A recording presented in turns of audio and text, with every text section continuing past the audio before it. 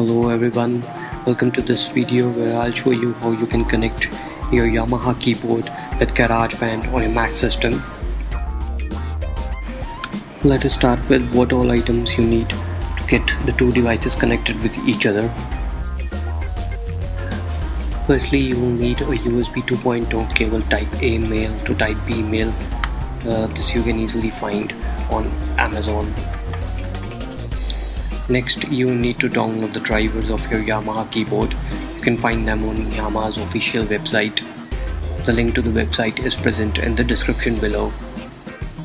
For this video, I'm using a Yamaha PSR E243 keyboard uh, that I bought from a local store here in India.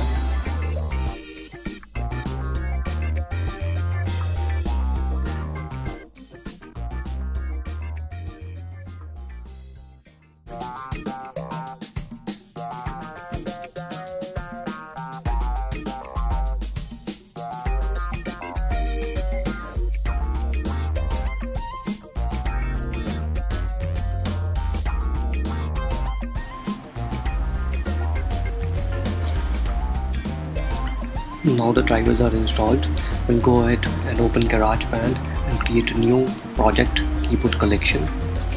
I'll name it as my new track.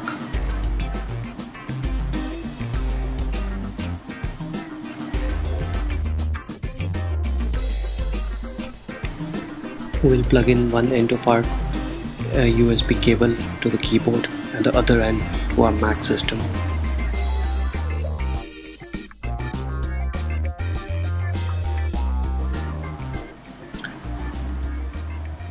As soon as you connect your keyboard uh, with the Mac machine using that USB cable you'll get a notification in your GarageBand similar to this one.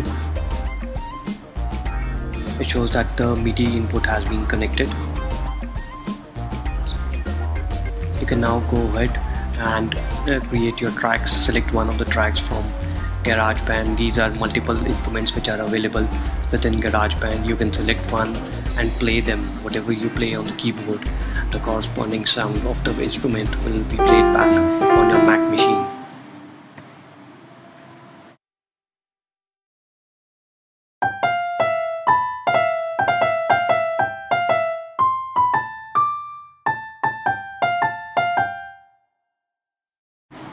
Now that you have uh, connected your Yamaha keyboard with GarageBand, you can go ahead and record your own music.